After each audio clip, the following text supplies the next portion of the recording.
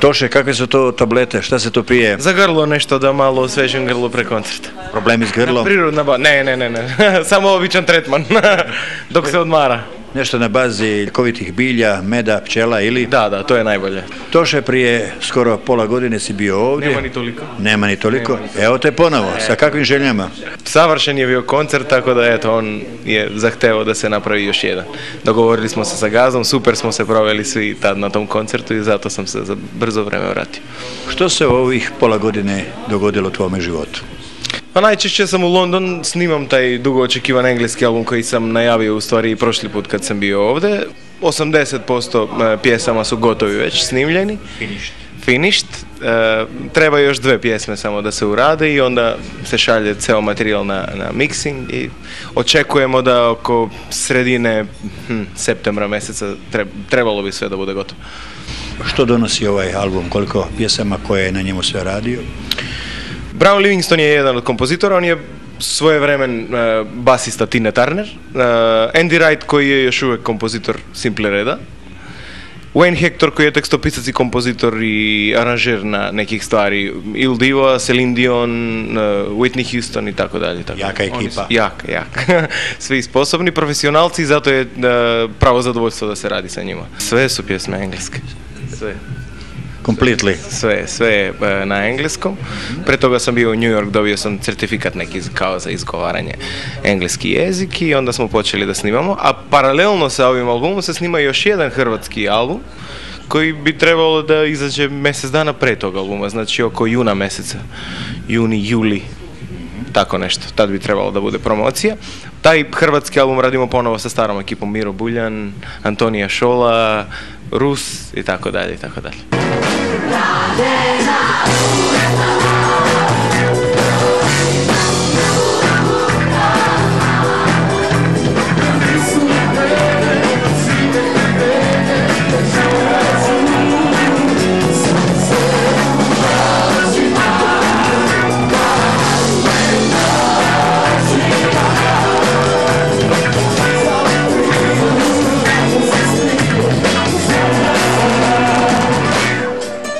tragu kakve glazbe taj album? Je to... U rock fazonu je. U rock fazonu. Da, da. Rock muzika mi je moja pasija i tako sam odrastao sa rock muzikom i hteo sam moj prvi album da, da zvuči baš tako kako sam želeo ja.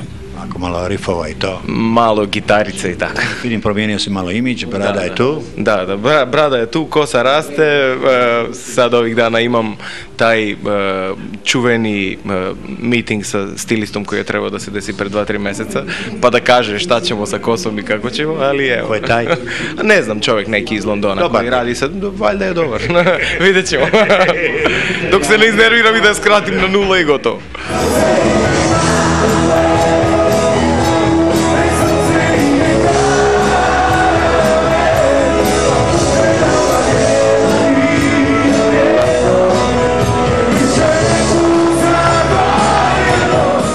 Imao si par e, strašnih hitova, srce nije kamen i tako dalje tako dalje. Kad smo kod srca, nešto smo imali čud da da se tvoje srce umeđu vremenu i omekšalo, jer to istina, ili ćemo to... nikad nije bilo ni tvrdo, ali pa, jeste, desila se jedna lepa, lepa priča, ali na kraju nije završilo onako kako smo zamišljali.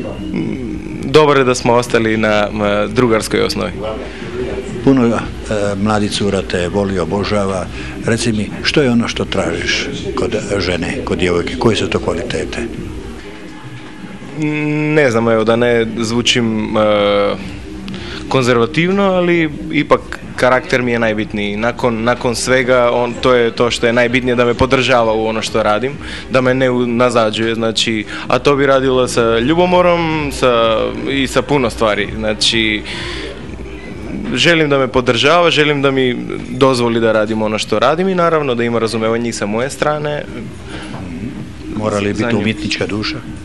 Pa najčesto se to dešava tako, ne mora biti umetnička duša, dosta često proradi taj fluid i sa običnom devojkom, znači ne, ne, mora da znači. Ali najčešće se tako dešava zato što umjetnici znaju kakav je javni život. Znači, mnogo više su upoznati sa onim što, sa onim njihovim životom koji žive, sličan je život svim umjetnicima na svetu.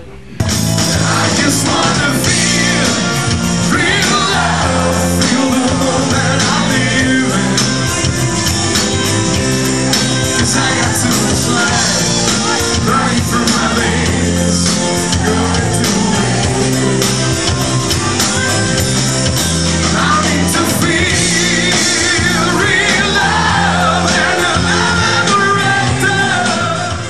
teško se nositi sa slavom? Je li teško održati neki privatni život, biti svoj na trenutke u samoći, u miroći, u mirnoći? Hm.